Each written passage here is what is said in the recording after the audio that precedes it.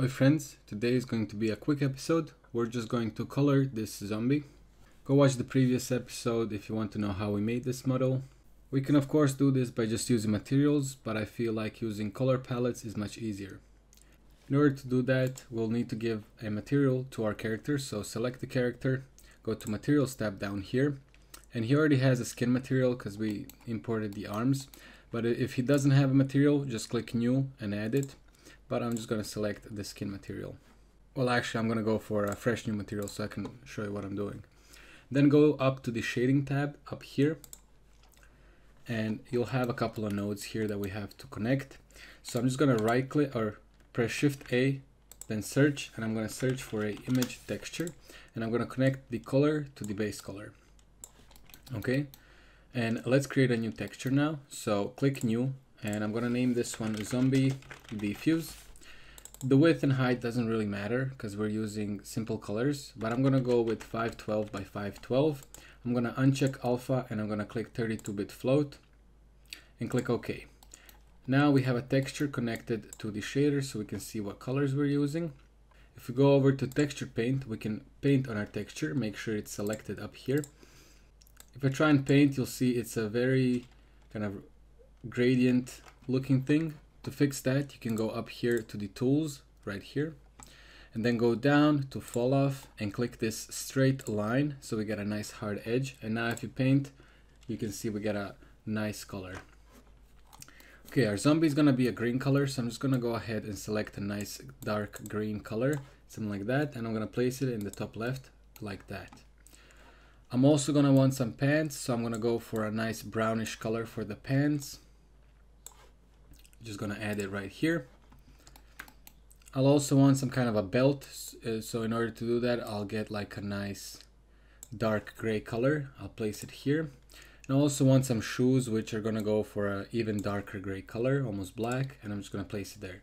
That's all we're gonna need. Let's save that image so it doesn't delete it because Blender likes to do that. So just go image, save as.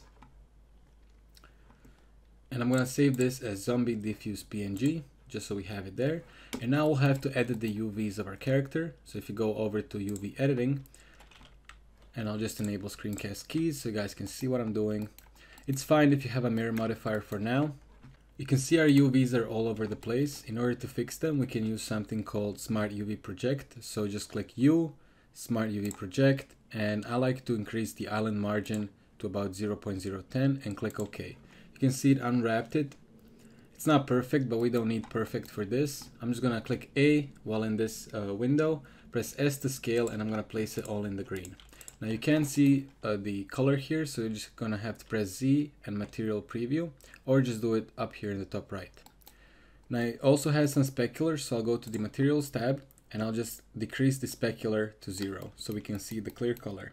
Okay, in order to get some pants, I'm gonna press tab to go into edit mode, and I'm gonna alt right click everywhere where I want the pants to be. Well, I want it here, and then I also want the legs, so I'll just press, press 1 on my numpad, Z to go into wireframe, B to box select, and just select everything. Then press Z to go back into material uh, view. And this is gonna be our pants, so I'm just gonna drag it over by pressing G, and we have some pants. Okay, for the shoes, I'll just go ahead and alt right click these right here you can use the circle select tool with C to select all the faces of the foot and then just move it over to the darkest color and that's going to be our uh, thingy right there. If you want to, you can take this top loop right here and move it to green so it kind of looks like maybe some skin showing or something. I think I'll keep it like that. And in order to get a belt, uh, you can see this loop is a bit too thick to make a belt. So I'll go ahead and just in edit mode, press Ctrl R, add a loop cut uh, right there. And then in face select mode with three, I'm just gonna move that over to here. And now he has a belt.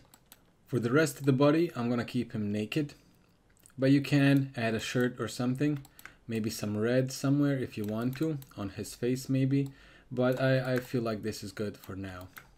And that's pretty much it. Uh, everything else uh, we're gonna continue next time. We're going to rig him. And uh, yeah, really quick video today. Thank you for watching. Hopefully you, you learned something new. And I'll see you next time, hopefully. Okay now, bye-bye.